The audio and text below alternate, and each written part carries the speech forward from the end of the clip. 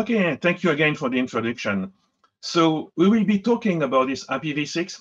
Uh, many people assume it's more secure than IPv4, but I put really here and a question mark in uppercase. Agenda. Uh, from the, the rest of the topic of today and tomorrow, it looks like it's most of the attendees and the speakers are more in the application world. So I will redo a quick intro, introducing the network issue with IPv6, and a few words as well in, in Poland and the rest of the world. I will talk then about some IPv6, what I call security myth, uh, notably, where is my NAT? Because everyone knows that network address translation is a key security feature, right? Uh, let me laugh on this. We talk as well again on the layer two, and as you wrote, read, uh, I, I, wrote a book there on layer two security many years ago on IPv4 and IPv6. The issue is that layer two is often the weak layer because people do not pay attention to it. It assumes for granted. Something which is pretty cool in IPv6, that something called extension headers. And the name was, of course, to extend IPv6 features. But as we are security practitioner, we know as well extensibility mean more bugs. And indeed, there were. And time permitting, a few words about forensic uh, that are not identical in IPv4 and IPv6. So, what's in IPv6? This slide basically summarizes the high-level message about what is IPv6. You remember IPv4, or still used everywhere, obviously, mostly everywhere, as an issue. 32 bits of addresses, so it means 2 to the power of 32 addresses, meaning about 4 billion. We are 7 billion on the Earth, and obviously we need more IPv4 address per person, right? Your watch, your tablet, your phone, your laptop, and so on. So we need again to get a bigger address space. So IPv6 is pretty much like IPv4. Uh, it's what we call a connectionless IP layer, uh, but with 128 bits addresses. Those 128 bits are split in two, and there's something to remember. 64-bit, what we call the network prefix or the subnet, basically identifying a unique VLAN or wireless LAN or LAN, and 64 bits for what's called interface ID, uh, which basically is the host, allowing, of course, to, to the power of 64 nodes per LAN, which is a huge amount, of course. Good news, all the transport layers are unchanged. This is the same TCP as you know, the same UDP as you know, and so on. Data link layers as well are unchanged. This is still Ethernet, this is still Wi-Fi, this is still PPP over Ethernet. The only thing that in the IoT world they have ported IPv6, for instance, on LoRaWAN or Sigfox, but only IPv6, not IPv4. In blue, at the bottom, this is the key differentiator, security-wise, between v4 and v6. The mapping of an IPv6 address to a data link to a MAC address or Ethernet address It's been completely rebuilt from scratch. This is called Neighbor Discovery Protocol. Rebuilt from scratch means introducing new bugs, of course and it's extensible, right? We can add extension headers. And the way we deploy IPv6 is typically what we call dual stack. And all our network right now are basically dual stack. It means that when an application sends packets over TCP or UDP, the network layer in gray, uh, it's either IPv4 or IPv6, typically a choice of the application or the operating system. And those packets are sent over the same data link, Ethernet, Wi-Fi, or whatever, because every receiver, switch, router, or whatever can make the difference. In all Ethernet or Wi-Fi frames, there is what we call a protocol ID, and there are two values, 800 or 86DD, that can allow the differentiation between V4 and V6. Meaning all your laptops, phones are basically sending those two kinds of packets. Address representation, I will skip most of this slide. It's basically in hexadecimal. Uh, so that's interesting because you have letters in IP address now. And we, of course, have a huge amount of zeros there. And we typically uh, remove them and we compress them. But that's a kind of a detail. The interface ID in orange for the 64-bit, which I put on the right, the least significant one, like in IPv4. At the beginning, it was reusing the 48 bits of your MAC address, of your Ethernet interface. And of course, as this Ethernet interface was not changing, now it's changing, right? Um, thanks to uh, iOS and, and Android. But typically the MAC address was not changing. So your interface ID was kept the same, whether you were in the office, or in the university, or in a plane or whatever, allowing um, some privacy leak, of course, because even if the left-hand part was changing, because that's the network identification, the interface ID itself was not changing. So we can track you. So years ago, privacy was already very important. So this interface ID has now been replaced for many, many years by a random number, which is changing every day. Or in the some case, for instance, in iOS, is changing every time your iPad or your iPhone uh, comes to life again. So interesting. Extension headers. We will talk more on this later. A typical packet, right, is on the left. In gray here, what do you have? There's the IPv6 header with a destination and source address, pretty much like a IPv4, not a big change. And if you want to have a TCP header somewhere, because you are transporting SSH, let's say, you put there a six. The six is the number that when somebody receives an IPv6 packet, on IPv4, by the way, he knows the rest here is TCP. It was in 17, for instance, for UDP. Now, what we do in IPv6 is that between the gray IPv6 header, and in this case, I've used a UDP just to make a change at the bottom, we can insert in blue another extension header. In this case, routing header, basically to do some uh, segment routing or source routing. And now look, the next header field here is 43. That's the number for routing header. And here they also have a space of one byte telling, hey, the next after me is 17. That's for UDP. And you can change them, right? For instance, here on the right, I still have 43. That's a routing header. But now I put here 60 because here I got another one, a purple one, and so on. You can have a very, very large extension header chain. And of course, each uh, extension header has got its own length, right? So we know where to point after. Basically, that's cool, right? Because we keep improving adding features to IPv6. Very recently, for instance, there was the segment routing for IPv6, or as well network programming, where you can send forwarding instruction or routing instruction inside the packets. So basically, that's the packets that decide where, what kind of processing and what kind of path he wants to have. Interesting. But of course, more flexibility, more bugs introduced in new code, and maybe too much of flexibility, time will tell. Quick view on what is the IPv6 deployment.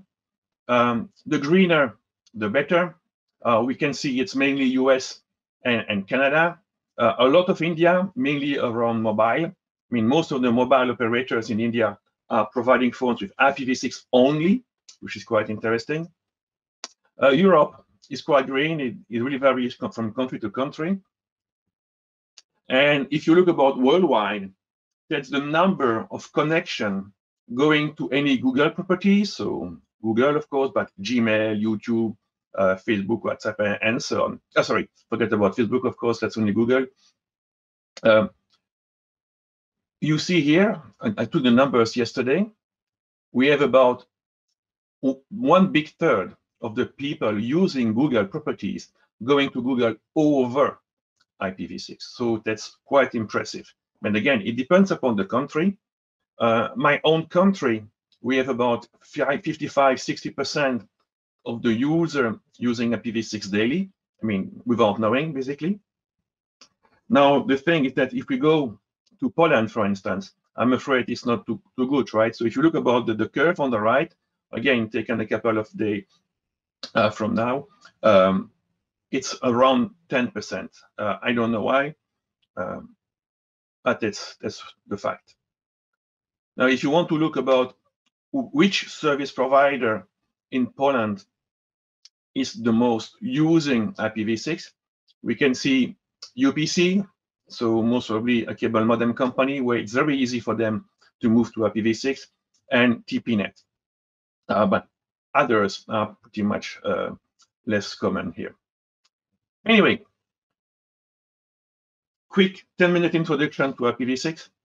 Let's go to the security. And myth. One myth is that IPv6 is newer. It's more than 20 years old, right, by the way. So if it's new like the car, we want to get it faster, better, and more secure. The car on the left is, of course, more secure because it's got ABS, uh, safety belts, and so on. But is it always the case that something new is better and more secure? Those two pilots, there is an old one, by the way, it's me on a rented plane, and the right one, which is of course the Photoshop. Which pilot do you think is the more secure? Which pilot provide the most safety to you? Experience means a lot. So my point is that when we deploy IPv6, for the few months, the time it takes to your network team, your security team to understand it and be able to apply security to it will take time. So for a while, it's a little bit less secure, right? Obviously, we are human beings. Another myth, the subnet. Each and every LAN or VLAN, right, has 2 to the power of 64 addresses. If you, an attacker, wants to make a reconnaissance, so you need to scan and discover which IPv6 address exists in your network. Even if it's sending 10 million packets per second, it takes 50,000 years. And guess what, right? First, with the privacy extension, the IPv6 addresses will change every day. So pretty useless. And I'm afraid in 50,000 years, right, uh, we will be using IPv11 uh, or whatever, and I'm afraid I won't be there anymore on Earth, right? So uh, people believe that, oh, security by obscurity, I cannot be found, so I'm safe. We all know, of course, that security by obscurity is just a dream. I mean, there are, I will not go through all the reasons here, but people can still find you. I mean, if you have a valuable information or a valuable service like an IP phone or a SIP proxy or a web server or whatever, or even a, a streaming server or um, peer-to-peer file sharing, somebody needs to find you. For instance, you will put your name, your fully qualified domain name, your DNS name into the DNS systems. So to do the mapping. So now rather than trying all the IPv6 addresses, you can try a.pl, b.pl, and so on, z.pl, aa.pl. You got it right. And there are ways to improve it on the performance side, and many others. Now, if you do a trace route, uh, obviously you will discover all the intermediate routers, IPv6 addresses, right? So, and so on and so on. So very easy to do. Another big question is NAT. With the huge amount of IPv6 addresses, the IETF has not really specified a way to do NAT for IPv6. And my router at home is not doing NAT for IPv6. It's doing it for IPv4, obviously. And that's quite often the case. So you do not need a NAT. And then people sometimes say to me, hey, Eric, where is my NAT? It's unsecure if I don't do NAT. And I hope that I don't need to convince you that it's plain wrong, right? There are many ways uh, to to bypass that. And anyway, nowadays, right? So the attack are no more coming from the outside trying to penetrate on your server or your client. It's more yourself that is fetching something wrong out of the internet. So, and again, don't con confuse the NAT and the security provided by a firewall and again, between quotes, they are quite often collocated for IPv4 because it's cheaper, but the two functions are different. You may want to keep the firewall for IPv6, of course, but no need to do the NAT. Even more important, right? If you look about the date, 2009, at that point of time, already somebody cracked into the command and control channel from a botnet called Torpig and they were able to collect all the local IPv4 addresses. And if you look about it, about 80% were basically coming from network 10, 168, basically all the NAT address. So for 80% of the botnet members, they were protected between quotes by a NAT function. In short, they were not protected, obviously. And Steintorp Jonathan uh, will talk to you uh, later today. It's an ex-colleague of mine and, and, a good friend. He discovered uh, in 2017 a way to even scan IoT device behind the NAT. It was basically a two-stage, a malware, a Trojan that you download somewhere, install on your laptop so behind the NAT protection, and then this malware basically scans for IoT device, could have been for everything, right? But in this specific case, it was IoT. Scan for IoT device and use the Mirai uh, bot code to basically inject and compromise those IoT devices that were behind a NAT. And by the way, with this, many IoT devices support IPv6 as well, specifically industrial ones, just because you need to get more addresses. So even if you have an IPv4 only network, you can download the same kind of multi-stage.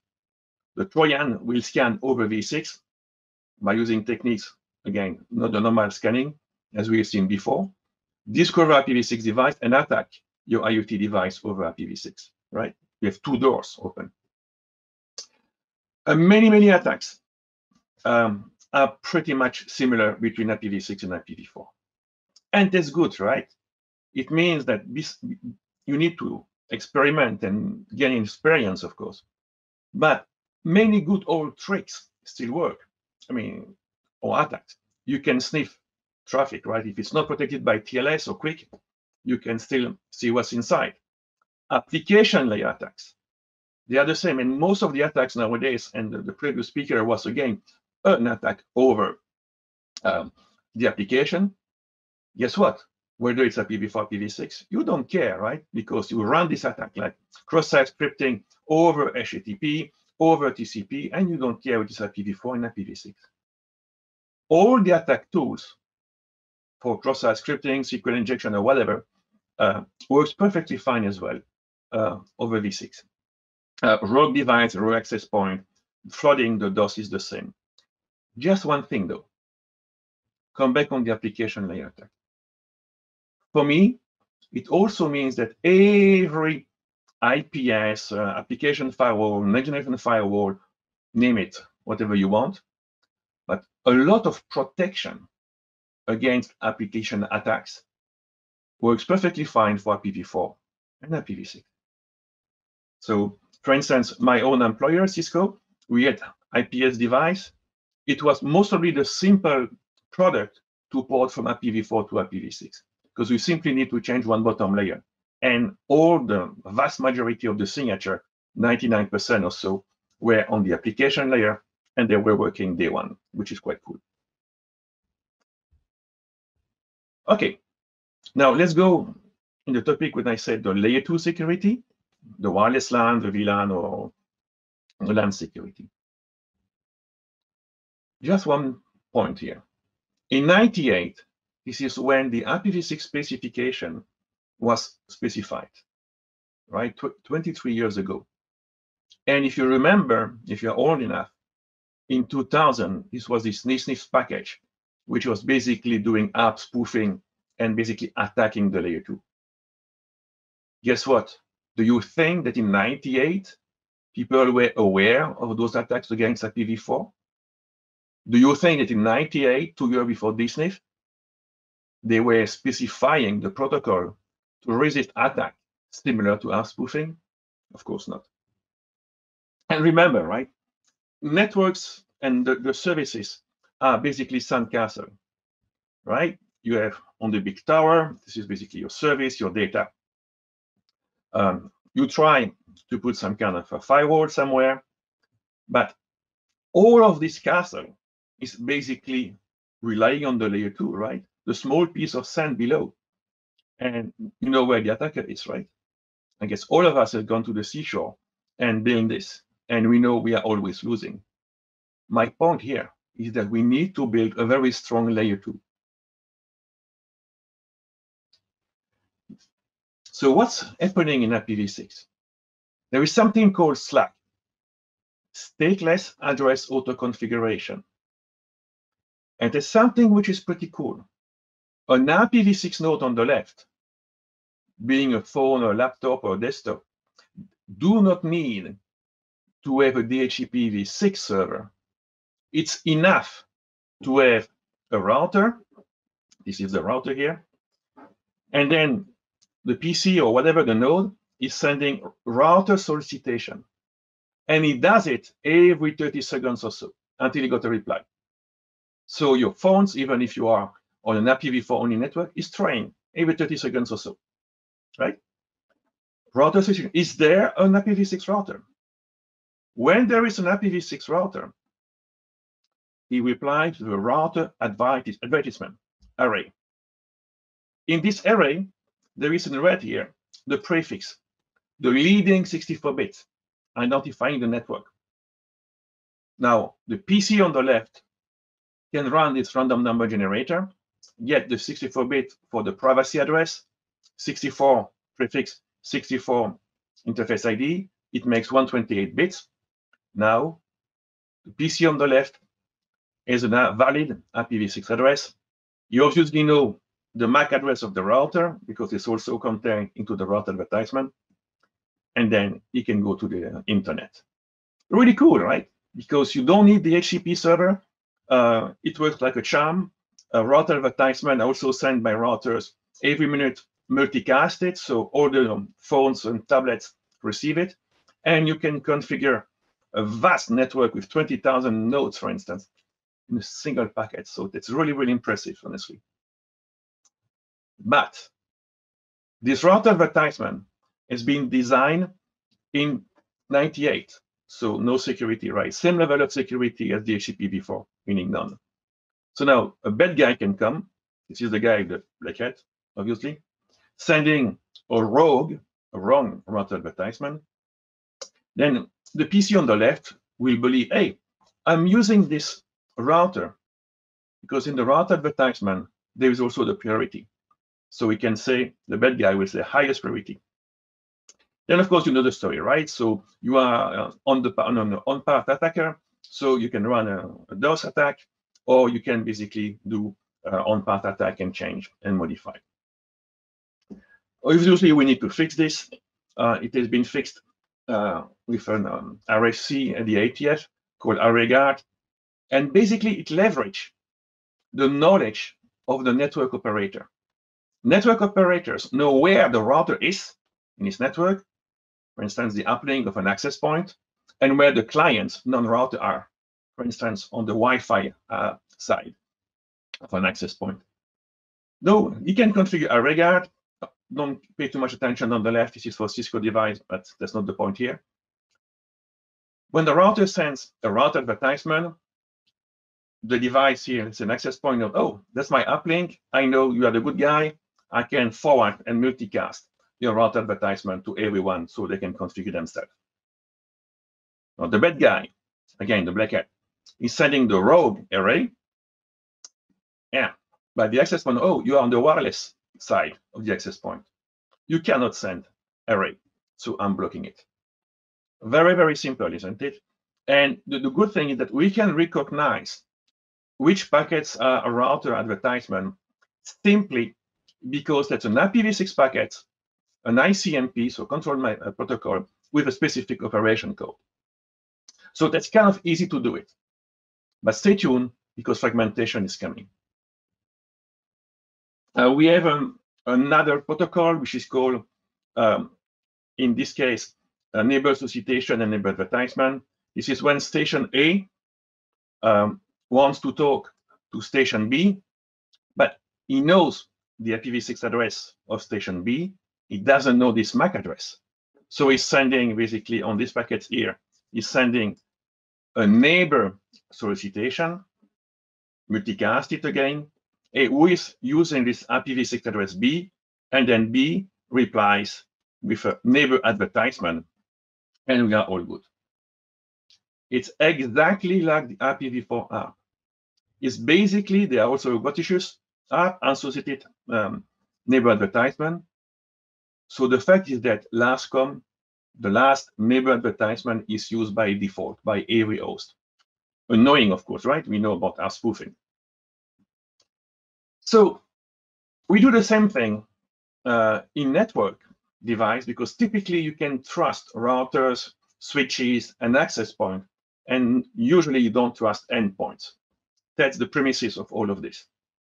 So we put three hosts here, and the guy in the middle here will try to build up a binding table.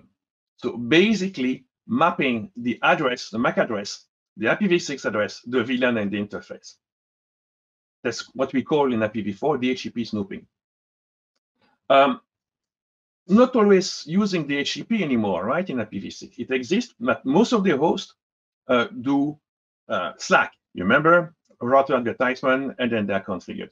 So when H1 got a SLAAC address, he will need to do that. That stands for duplicate address detection. He need to check, of course, whether somebody else wants to use the address A1 that he wants to use. How is it done? He simply sends a neighbor citation for itself.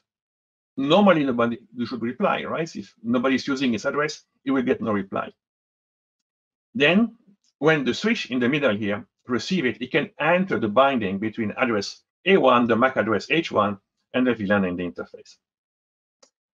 Host H2 is using DHCP, so that's easy, right? It's sending a DHCP request. The DHCP server replies. Only difference, and you notice here, right? Yes, two IPv6 address because here the DHCP server was replying with two IPv6 address, which is unusual, but it's the same thing, right? So we know we can put it in the table. Now we may want to get something else. Host H3 um, is a very long host uh, that has been there for years, but was never talking. So there is no entry in the table. So when I receive an actual data packet, so no DHCP, not that, uh, what can I do? There are two technologies, and both of them can work together, of course. In DHCP v6, there is something called lease query, where, of course, a trusted device can ask the DHCP server, hey, can you provide me the binding for this MAC address and those addresses? And then it reply, of course, the DHCP server. And then you can get the mapping. Or what you do, the switch can simply say, hey, who is using address A3? So the IPv6 address of the host 3. And normally, it should get only one reply, the normal one. And if you got two reply, it means that there is a normal one and a bad one. And of course, now it doesn't know which one is it which one, but at least it can block the traffic of everything.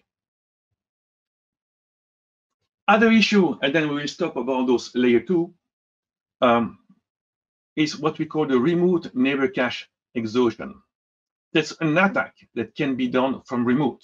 Because obviously, I forgot to say but the rogue route advertisement or the rogue neighbor advertisement are local, right? They are only multicasted within a single wireless LAN or single VLAN. This attack is remote. So if a bad guy is sending ping packets to multiple IPv6 address, like in this case, 123, the router at the destination network we need to know, hey, I, I got the ping packets, I need to send it to the destination, but I don't know the MAC address. So what can I do? Uh, I'm doing neighbor solicitation, right? I try to discover normally who is using those v6 address. Most of the time, no reply. He asks a second time, again, no reply because those addresses are non-existent. And a third time, and then he stops. But it means that the memory of the router and the CPU spent basically to send those packets are used. In the case of an IPv4 network, you simply have a slash 24, so you have only uh, to the, power 8 addresses per VLAN, so typically uh, 256. Even in large, large A wireless LAN is maybe 65,000, but no more. In the case of an IPv6 network, you can have billions and billions and billions of addresses. So your memory here can grow very high, and that's a loss. Obviously, uh, every vendors and routers has got mechanisms to protect against this. Right, we limit simply the numbers of entries and we are safe. But you see that basically a very simple design uh, can be compromised in multiple ways. Okay. Next step will be extension headers. And I will ultra quickly introduce Scapy, uh, mainly to give you the taste of it. Scapy is a Python library. Um, maybe some of you know, as well as a, like an interpreter to build very specific packets. It's very, very useful. It's quite an old tool. Uh, I use it. My, I was writing my book about 10 years ago. Um, very powerful, very complex to use. Um, this slide basically can provide you with some explanation, but basically you can build your packets on your own and you can send them and receive them. Again, no time to go through all the details here. So let's use Scapy to play somehow with extension headers. So I'm trying here to build an IPv6 packet, says the syntax here, with an extension header hop by hop, followed by one with its destination option, a routing header, another hop by hop, and then followed by and so on and so on. And finally, I end up with a TCP header. And I, at the end, I send it. Then what? Of course, Wireshark or TCP can receive it. But for instance, look at this. Normally, you can have only one hop by hop extension address. I put two here. Or destination option is maximum two. I am sending it three. I mean, we are security people. We know buffer overflow exists. And if they are on the stack, this is quite critical. And guess what? Some very naive implementation where accepting three, four destination header, but putting it after one of the other, crashing the stack, of course. Very a lot of boundary condition. It's not only about the external header itself, because external header contains options, and those options can also be larger or smaller and so many boundary conditions. So there were a lot of um, issue there, and there are also a few things there. So the good thing, you may want to use a firewall that enforce the right order of these headers and the amount of them. Um, most of the time nowadays, in 2021, the host stack, whether it's Linux, Windows, or whatever, are pretty immune to this. But we still see somewhere in a very strange device device that when you receive a, very weird packet, they simply crash. Yeah, not good, isn't it? Extension headers as well pose a problem if you want to do access control list based on TCP ports, for instance, or if you want to analyze what's in a HTTP header or HTTP content. In IPv4, it's easy, right? You have 20 bytes of the IPv4 header, then you get 20 bytes again for the TCP header, and you always know where the ports are. And after TCP, it was HTTP, for instance. Very easy. Now, in IPv6, you have the 40 bytes with a slider, right? IPv6 header, you still have the 20 bytes TCP, but these very valid packets can have an extension header hop by hop, a routing, authentication header, that's IPsec, and some data behind. But of course, we know the length of the IPv6 header. In the first two few bytes of the hop by hop, they say the length, so we know where to start the routing, right? And the routing, the length is also there, so we know that the next one is here. In AH, we know the length, we can go there. TCP is, of course, always 20 bytes, so that's easy. So basically, everyone can pass this. Being the host, being a server, being a switch, being a router, being a firewall. That's perfectly easy. There is a performance impact, of course, right? Because you need to do it. And on some hardware platform like ultra speed uh, layer 3 switches, uh, you have the lookup window it's typically 128 bits, bytes, sorry, or 256 bytes. So if you have an extension header chain, as we say, which is longer than this, they cannot find the TCP uh, because they only look for going very fast in, let's say, the first 128 bytes. And it varies based on the vendor, the platforms, and so on. Yeah, not easy to know. Fragment. Yes. In IPv6, you also need to fragment bin packets on a smaller packet if the maximum transmission unit, the MTU of a link, is smaller. Uh, typical link, uh, for instance, on Ethernet is 1500 bytes, but sometimes you have jumbo frames of 9000 bytes. So you need two fragments. Uh, there is a minor difference in IPv6, is that the fragmentation is done only by the end system, so that's the source. Um, we have also known for many years that fragments can overlap, basically to escape firewalls or stateless IPS or confuse uh, some hosts and, and, servers. The RFC for IPv6 forbids this, so we cannot get fragments that are overlapping. They need really to be just touching each other, adjacent. Uh, and it's been there since uh, many years, about 10 years now. That's cool. And we know, of course, that fragmentation has been used by attackers in the IPv4 world. Um, as I said, right, just to confuse network intrusion, um, specifically stateless firewall, um, because they cannot, like, do not have any state, right? So they do not remember the previous uh, fragments. Um, again, pretty old attack, 98, same time as the IPv6 standards has been issued by the IETF. So all of this works as well for IPv6.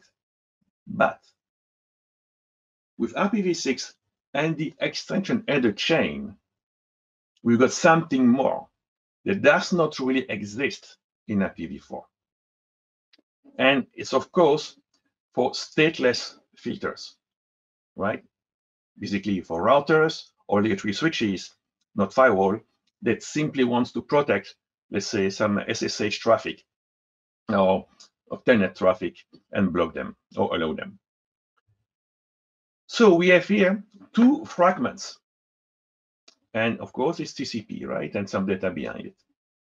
The two fragments have all of them the same IPv6 header, the same hop by hop needs to be repeated. Uh, let's say in this case, I was using some routing. We have in blue the fragment header that basically signal, hey, uh, after me, that's a fragment, so you need to do reassembly. Uh, the value here are different, right? Because in fragment one, it says the length of the orange. and in fragment two, it says the length of the complete rest, right? So all of this. Remember how it's done now. The length of the orange destination header, which has been fragmented because it was too large, right? And we can cut it in two. So it was cut into pieces, into fragments. The length of the complete range is there in the first few bytes. TCP after, the number six for TCP is somewhere here. So when a stateless firewall receives this, he knows for sure that, okay, I know after the TCP, but uh, I don't have it. The stateless firewall forgets about everything, right? He received the second fragment, this one. Then you can pass this, as we have seen, yes, another length, another length. Okay, uh, fragment two, uh, but I don't know it's TCP after, and I don't know the length of the arrange. He can do nothing, right? He can simply do nothing. So either he allows all the fragments or he blocks all the fragments. That's all he can do. He doesn't have the granularity to filter anymore on TCP ports or UDP ports. Kind of annoying. So one of the biggest issue was about this RA-Guard. You remember blocking packets coming from the wireless side that are route advertisement, in this case, rogue route advertisement. So there is an RFC that says, hey, nodes receiving a fragmented NDP should discard it. Because of course, the attacker could run, send a rogue RA fragmented so that the, the wireless access point cannot find whether it's an RA or something else. So That's the issue. And most important, since two years now, the second revision of the IPv6 standards, this RFC 8200, says if the first fragment does not include all headers through an upper layer, so TCP UDP, then that fragment should be discarded. Meaning that host, router, or whatever, when they see this, right, without any TCP here, they need to drop it, protecting against it. Again, good news, nowadays, uh, most recent operating systems uh, uh, apply this specification. If you want to play at home with this, I have prepared a quick Scapy um, for sending a connecting to 22, uh, which is basically um, SSH, and you see TCP. There's the two fragments. You see that on the first fragment, we have the TCP, there's the six, and 22 decimal is actually 16 and hexadecimal is in the second fragment. And I was using tcpdump to dump the packets. And even tcpdump, which is stateless, was unable to understand it's a SSH. So I have run this through um, a router with a very naive um, access control list, trying to block everything which is 22. And we've seen that on tcpdump here, it was receiving the two fragments. Linux, in this case, was doing the reassembly, putting the two fragments together. Oh, it's TCP 22. And then basically I'm replying indeed here to my attacker on port 22 because I'm the server to the gentleman here. Okay, we can go. So basically bypassing all of the access control list. Again, stateless, right? If you have a stateful firewall, that's no problem. If you have a personal firewall on your like uh, iptables or security center, everything is fine.